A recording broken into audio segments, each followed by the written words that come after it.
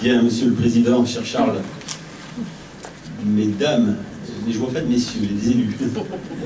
Pour moi, en tout cas, pour votre présence, cas, mon élu à la culture, mesdames et messieurs, les membres de l'association Jean Ferrat Incri, mesdames et messieurs, les représentants ou présidents de l'association, le président de l'éclair en particulier, mesdames messieurs, chaque année, c'est pour moi un véritable plaisir, sans cesse renouvelé, d'être parmi vous pour le vernissage de votre exposition, qui marque également le lancement officiel du Festival de la chanson française. Il s'agit là cette année, Charles l'a rappelé, de la 9e édition, et je pense ne pas me tromper, en vous disant que le festival est désormais bien implanté au niveau régional et parfaitement reconnu par tous les amoureux de la grande chanson française.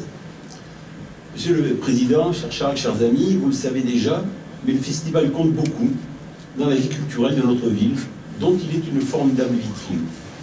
Chaque année, la qualité de votre programmation, mais aussi de l'organisation, attire un public nombreux, et j'espère que cette année on ne sera pas démenti, Charlotte, et participe très clairement au rayonnement de notre ville.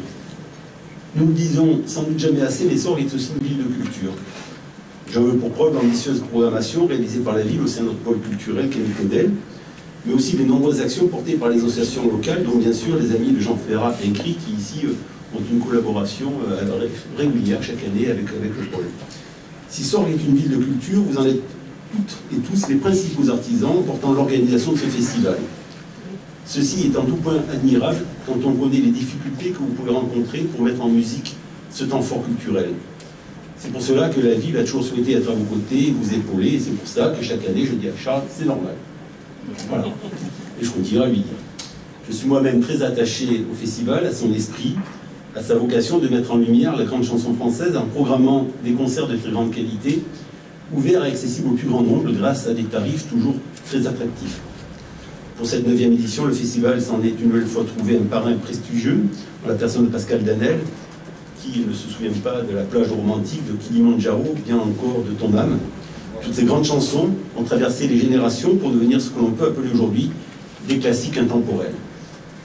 Cette neuvième édition du festival promet donc d'être très belle, avec également un hommage à Juliette Gréco, à Carlos Gardel et bien entendu à Jean Ferrat.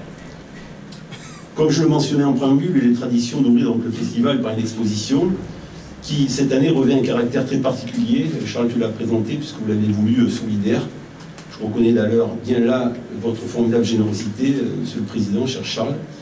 Vous qui ne comptez, alors je vous vois dans le discours, hein, mais rassurez-vous qu'après, c'est beaucoup plus... Euh, beaucoup plus direct et, amical, vous qui ne comptez ni votre temps, ni votre énergie pour conduire un tel chef d'orchestre, conduire tel un chef d'orchestre, l'organisation de cet événement. Et je vois qu'il s'est en plus associé toute la famille euh, pour euh, euh, concrétiser des partenariats de qualité. Bravo en tout cas à ta fille, à ton petit-fils. Je trouve ça très touchant. Les œuvres présentées ce soir et ceux jusqu'au 4 mai ont été offertes par les artistes, donc elles sont ainsi mises en vente lors d'enchères dont les bénéfices seront euh, réservés, reversés par l'association Timéo Son Combat et la Fondation Frédéric Gaillan. Je trouve que là c'est un très beau geste et qui traduit aussi très bien l'ADN de votre festival, de votre association, qui vise aussi à offrir de grands et beaux moments de plaisir et de partage autour du répertoire de grands artistes connus, mais aussi pour certains en devenir. Je vous remercie en souhaitant à ce festival, une fois de plus, tout le succès qu'il mérite. Merci.